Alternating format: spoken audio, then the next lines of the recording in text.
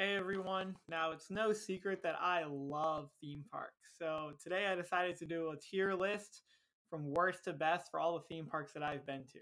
If there's a park you've been to that's not on this list, drop it in the comment section and tell me that I should go visit there. I'm always looking for new theme parks to, to try out.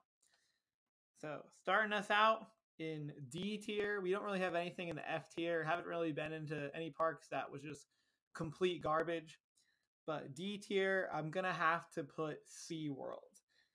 Now, the whole kind of animal show type thing wasn't really my kind of thing. I was really there more so for the roller coasters. Well, it was more, I went there on a school trip and it was just, we were going to Disney World, but this was one of the other places we went to as well. And I just remember this one being one of the weaker of the parks that I've been to.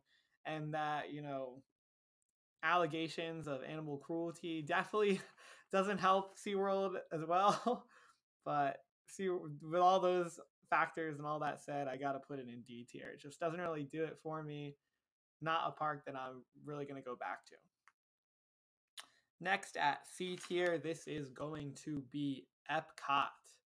My biggest problem with Epcot is there just aren't enough good rides and attractions kind of what I see there. It's it's a tour of the entire world, all these crazy restaurants, getting to taste and drink everything. I just don't have the stomach to eat everything there and really enjoy it all in one day.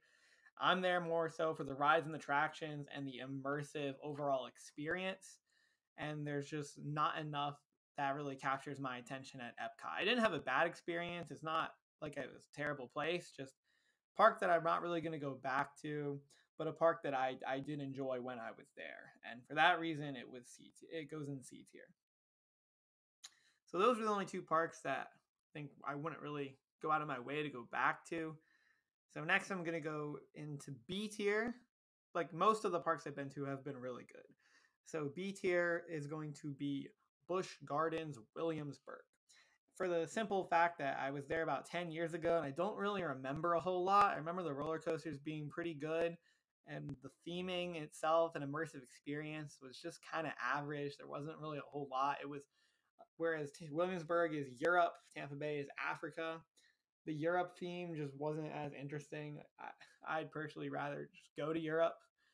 And I was really just there for the roller coasters, which they do have some really good roller coasters and I did enjoy it. It's not I'm not ripping on Busch Gardens or anything. I think I need to go back just to reassess and determine how the park really is. But from my memory from like 10 years ago, it's only about B tier. Next is going to be Cedar Fair's Carowinds in B tier. Uh, what this what really prevents Carowinds from going from B tier to A tier is there's just really no theme going on for the park. It's just a bunch of rides. The rides and attractions are pretty good, but that's really just it. And that's the only reason that it's going to be tier and not A tier.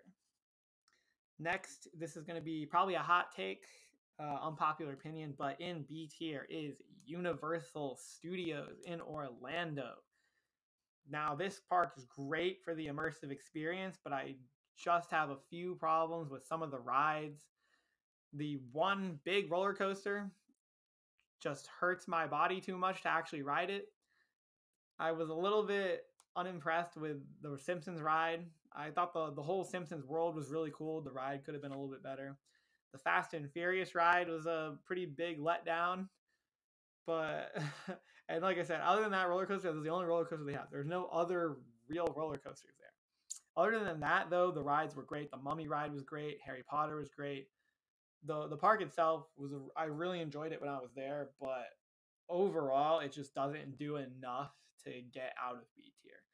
And let's not mention that random Jimmy Fallon attraction that's just kind of sitting there, but we don't we don't we won't dive into it anymore.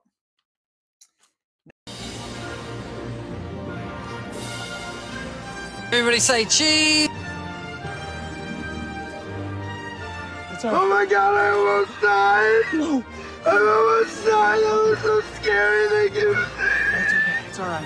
And I've got to say, in all honesty, um, it's the biggest piece of dog shit. I started blasting. Bang, bang. I don't see so good, so I missed. Then they ran away. I ran after them. Bang! Try to shoot him in the back, but I don't look so good either. uh, but. can't take much more of this. Woo! Yeah, baby! Woo! Yeah, baby! I gotta tell you, it was perfect. Perfect. Everything, down to the last minute details.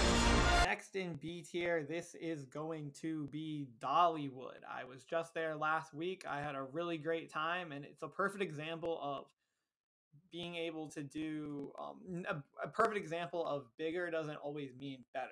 It probably had some of the best small coasters I've been on. The theming was really good. And what's really holding it back from A tier is just there's no like huge, big scale attractions like this is awesome type thing. It's kind of just a more family friendly environment, which was still really fun, but I don't think it's quite good enough to get into A tier. And once you actually hear the parks that are in A tier, you'll understand why this park is not in A tier. It just barely misses out. But Dollywood was really good. I, I would I would go back and probably have a much bigger Smoky Mountain adventure uh, in the future. At the top of B tier, this is going to be Disney's Hollywood Studios. Great park, great shows. You know, the Indiana Jones show, fantastic. Tower of Terror, Star Wars ride. The immersive experience was great. Rides and attractions, I, I just don't think there were enough rides and attractions. Like there's no there's one roller coaster here and I don't think the immersive experience was an. I don't think they did enough really to put it into the A tier. I enjoyed the park. I just don't think it was quite good enough. Uh, but hey, you know that's just me. You can have your opinion. I have my opinion. Next is going to be A tier, and I have to I have to list this park. This park has to be an A tier for sentimental reasons. This is going to be Paramount's Carowinds. Yes, that's right. I'm splitting Carowinds up into two two parks, Paramount and Cedar Fair. Uh, growing up as a kid, this was my my park, hometown in Charlotte. The theming was great. I loved Nickelodeon Central. You know, you had the roller, even the roller coasters were themed. We had Top Gun. You had Borg Assimilator. And also, one ticket got you into the water park. Uh, shout out Boomerang Bay. And let's not forget that SpongeBob SquarePants Action Theater ride was one of the best rides in the park. It's a shame that you know Cedar Fair couldn't keep it around, but I understand you know they don't have the rights to it. And let's not forget the Nickelodeon's Flying Super Saturator, one of the most unique rides I've ever been on. Never seen a ride like it before. Never seen one since. If you know of a ride like this, please tell me so I can go to that park and ride that ride but you know probably doesn't deserve to be up here. But for personal reasons, Paramount's Carowinds is number is in A tier. Next in A tier, this is going to be Disney's Animal Kingdom, and you might be thinking, what?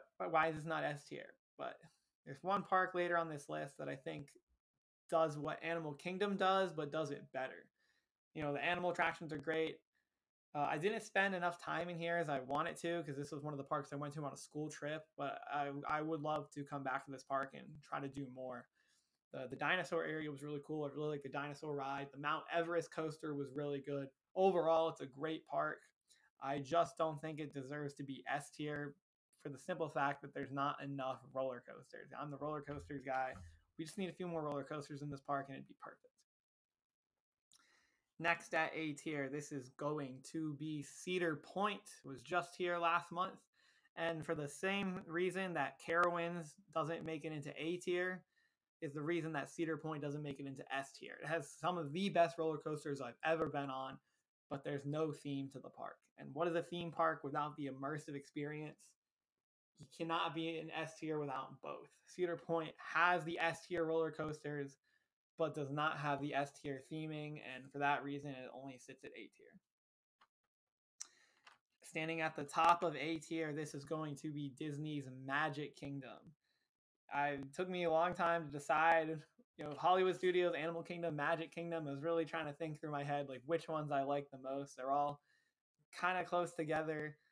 And in the end, I have to go with the Magic Kingdom because it has the rides and it has the immersive experience. Uh, when I think of Disney, and being in immersing myself with inside a Disney movie, I think of the Magic Kingdom. And the only thing separating it from S tier is need some more roller coasters, need some just a couple, one, two big coasters. That's all it needs. It'll be S tier. Now, you know what I you guys know what I like based on what you've heard so far. You know what S tier is gonna be. If you if you know what parks I've been to, you know there, there's two parks left. Coming in at S tier is Busch Gardens, Tampa Bay. I was just talking about Animal Kingdom.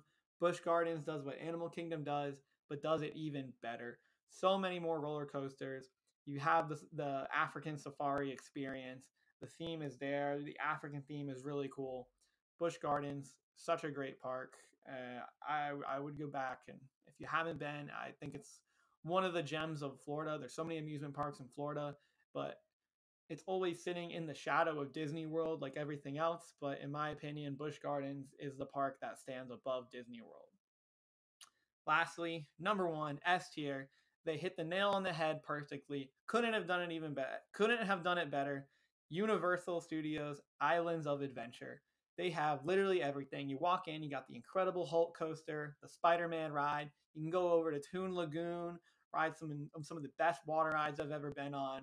Kong Skull Island, Jurassic Park, one of my favorite books, one of my favorite movies. You literally feel like you're in the movie. You go over to Harry Potter World. Uh, one again, another one of my favorite books, favorite movies. The Hagrid's motorbike coaster, one of the best roller coasters. The Velocicoaster, one of the most intense coasters just walking through Hogsmeade, there's so much to look at. Even when you're waiting in the line, there's so much to look at. Sometimes I'm like, oh, wait time five minutes. Man, I want to stop and look at everything. Universal Islands Adventure, best theme park I've been to. It's S tier, and I'm so excited to go back because I saw that they, uh, my favorite animated movie, How to Train Your Dragon, is getting its own world in Universal Studios, and I'm so excited. So, like I said before, if there's a park that I haven't been to, leave it in the comment section and maybe I'll check it out. Thank you for watching. Let me know in the comment section if you disagree with anything or if you agree with anything. I'll see you guys next time.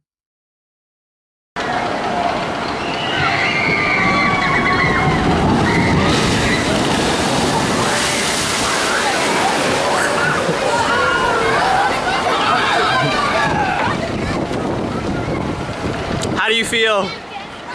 So.